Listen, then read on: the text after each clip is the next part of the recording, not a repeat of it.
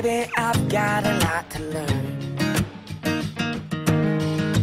Maybe I'm just hanging on my word. Maybe it's not a big concern. If I raise my hand, would I understand why I'm better.